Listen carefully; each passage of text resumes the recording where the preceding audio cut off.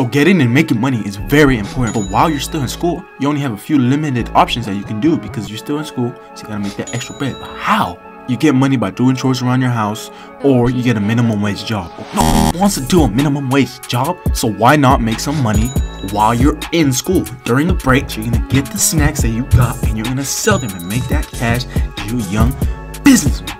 And me, I'm not working at McDonald's, so you know what I'm doing? I'm selling at school. And it's day two, so let's get to the action.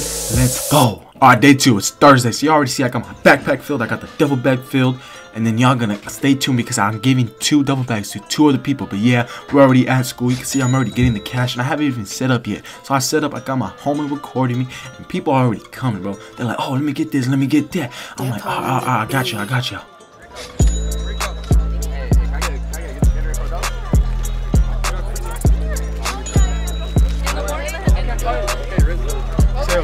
Honestly, you already see I'm stacking with the bread. It's only been a few minutes in, and that dude wanted a Gatorade for two dollars. I'm like, nah. So I put on my business hat, and I'm like, I got you with Capri Sun. That's a dollar. So he got it, and I made that buck. Not, do you have lemon?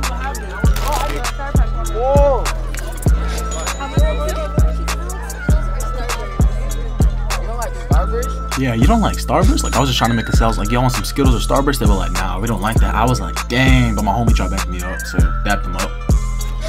She wanted one thing and she went away with three things. Now I made that sale. Y'all see the bread? Do you have lemon? Oh, yeah, yesterday.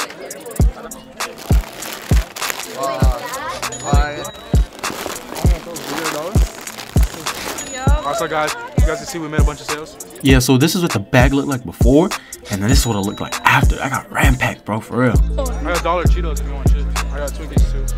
Candy. Chips. Cheetos. Those are only dollars. No,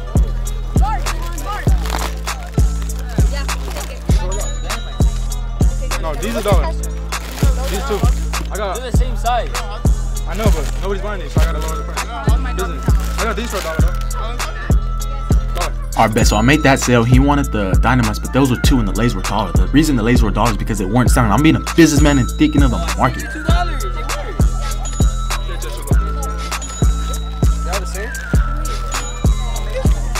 I slid her some Doritos and Gatorade and just giving her the lemon. She sent me the cash app. Y'all can see the cash app right there. And then this is a kid that was selling for me yesterday. If you guys remember from day one. If not, go check it out. But basically, he was counting with the money that he made. He made some bank. So today, I'm gonna give him another bag and I'm gonna give him way more because he said he sold out and his kids were still coming up to him and asking. And then I went up to this kid, sold it to him, and he sent it on cash app too.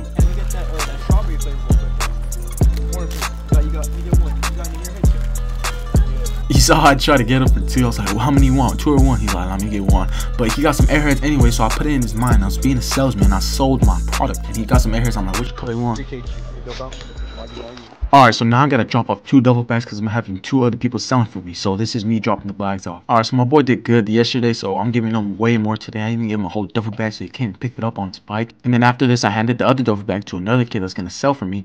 So I'm having three total people selling for me. Me, him, and another kid. So we're spread out throughout the school. He's one of my best sellers, so let's see how much he gonna make. I gave him like 25 bags of chips and I also gave him like 10 Capri Suns. So we're gonna see how much he does and how good he does. And I'm gonna count the money when I get home, so I'm gonna get you guys with all that. All right, bet y'all. So y'all saw everything go down. So tomorrow I have high hopes for that. I got a total of three people selling for me tomorrow. I aim, I'm aiming for over 50% profit. So y'all can see that this translates into like a real business. And some people just look at it as, oh, he's just selling chips. That's cool. No, I like to look at it as other things because I'm, I'm basically the CEO. I'm basically a boss, young entrepreneur. That's what I call myself. I'll be hustling. Let's go, bro.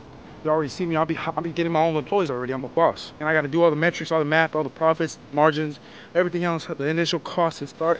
I just got to take in everything. So it's basically like my journey and my path on my young business. I'm a young businessman. That's what I like to call it. Better 17. So we're gonna see what happens and let's get to it, bro. You know I'm, I'm hustling all the time, bro. I got I got you guys with more side hustles like this. I'm gonna start power washing, and I'm in talks with a vending machine right now. So I can't spill nothing, but I got you guys soon. Alright, so I want you guys to comment how much you think this is, and I'll tell you right now. So pause and go comment down below. Basically, you guys like all my snacks, by the way? Yeah, that's all my snacks, but yeah. So basically, I made 112, and then I made like a few other dollars on Cash App. But This is the end of day two, so hope y'all like this. Subscribe if you want day three. Day three is coming out real soon, and I'm curious on who sells. So if you sell, comment down below, and I promise you I'll reply. And if you made it this far, comment down a chess emoji, and I'll subscribe to you and DM you personally. And then check out this video that YouTube's recommending. You're a young entrepreneur and you're a young businessman. So yeah, peace.